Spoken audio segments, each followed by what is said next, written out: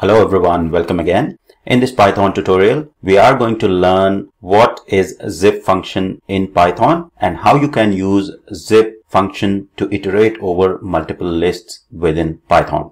So here I am on the official documentation page and if we go to the library reference and here we will go to the built-in functions. Now in the built-in functions you will see the zip function. So we'll click on zip function and here you will see that uh, description of the zip function is there. So what exactly zip function does is you can anyways go through and read it. Uh, but in very simple terms, zip function will take the uh, iterables. Basically, iterables could be list, tuple, etc. And say, for example, you pass on two lists within the zip function.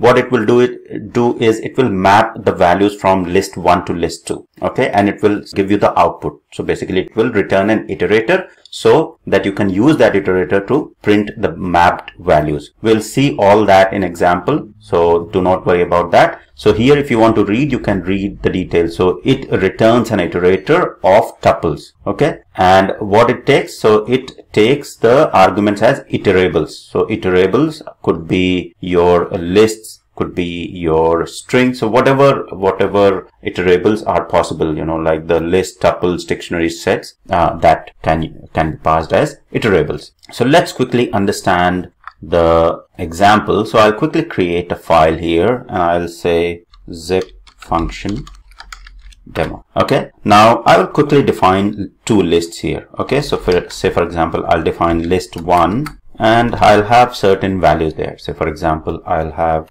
the countries and the second list will contain the cities of these countries. So let's take any city.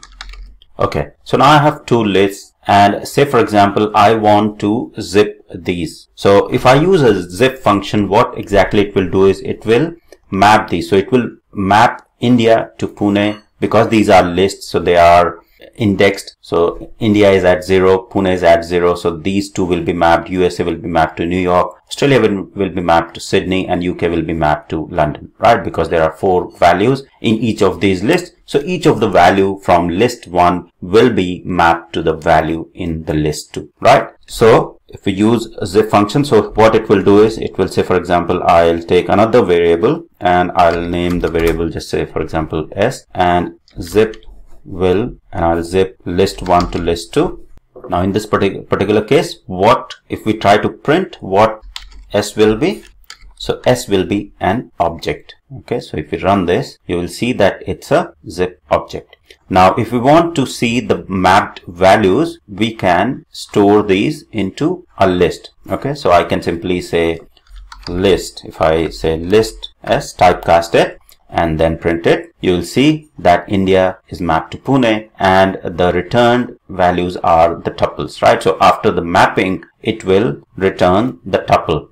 So India is mapped to Pune, USA to New York, Australia to Sydney, UK to London, right? So this is the basic zip function and what zip function will actually do. Now you can use zip function to iterate through the multiple lists that will understand in just a moment. Uh, before that, say for example, there are mismatch. So list one has four items and list two has five items, say for example. Okay. So list five has another city, which is Melbourne. So what will be uh, in, the, in this case? So if you run this, you will see that it still return the same result because when you are doing uh, when you are using zip it will map one to one and in this particular case because the first list has only four values it will map only the four values in the second list and leave the remaining as is okay so that's the basic of uh, the zip function uh, you can do a lot more with the zip function. You can go ahead and read the documentation, but as of the automation perspective, I don't think that you'll be required a lot more detail in those aspects, but zip function will definitely be required in many of the scenarios. So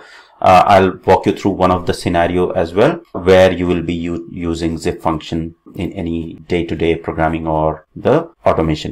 Now, say for example, I want to iterate over right? So I want to iterate over these two lists. So I can simply use the for loop. And as we have done with the other examples, so let me comment these out. So I can say for, I can take two variables for x and y because we want to iterate over these two lists. So I'll take two variables and then say in. And because we are using the zip function so we can simply say zip and then we'll say list list 1 comma list 2 and in this particular case we want to say for example print the values x and y okay? So now we have two lists and we are we are iterating over those two lists and printing the values out. So if i run this you will see the values have been mapped and printed accordingly. Okay? Now real example of this zip function where it could be really helpful. Say for example you have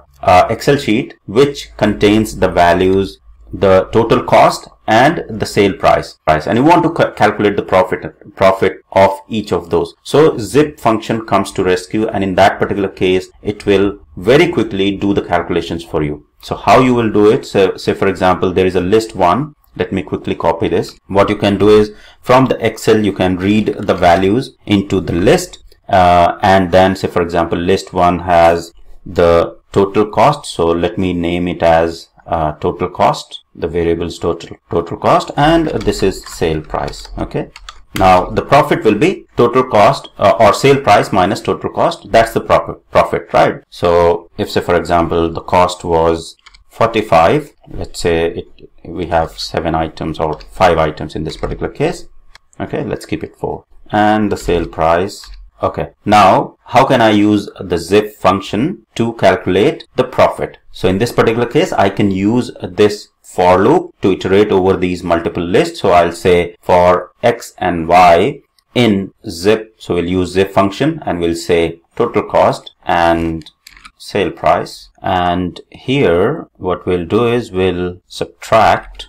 So sale price is stored in y. So we'll say y minus x all right so whatever value will be returned after subtracting sale price uh, total cost from sale price will be our profit. Okay? So if you run this you will see that these numbers are our profit. So you can see how we can utilize the zip function to basically do these simple cal calculations. And these will be really helpful even in the automation journey that there will be many scenarios where we might be required to use the zip function map them and then do certain calculations and get the outcome accordingly. Okay? So this is all about the zip function. It was a quick one. So it's uh, what exactly the zip function is. It will map the values from uh, you know iterables. So iterables could be list tuple sets etc so i can have the set the the sets here as well. So tuples say for example.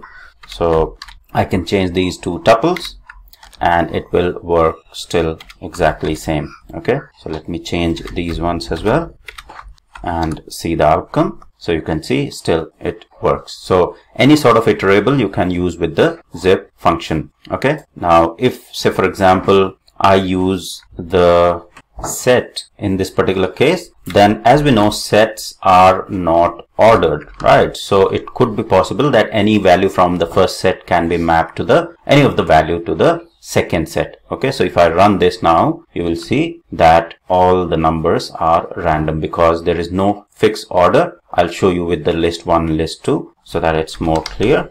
Okay and i'll say just print y comma x. And here you'll see that Pune, India, New York, USA, Sydney, Australia, London, UK uh, because this is this is tuple so I haven't changed it to set. Let me change it to set so now I have changed these list 1 and list 2 to set. And now if I run this you will see the mapping is random. So Sydney is mapped to India, Pune, Australia, New York, USA and London, UK. If you run again it might change that order right? So that's that's what uh, happens with sets so sets are not ordered. So when you use the zip function it, map, it might map to any random number from the other set. But if you're using the list or tuple then that particular case one-to-one -one mapping will happen as they are ordered. Okay? So that's all for this tutorial on zip functions in python and how it is really helpful and how you can iterate over multiple lists in python. So i hope this tutorial was helpful. Thank you very much for watching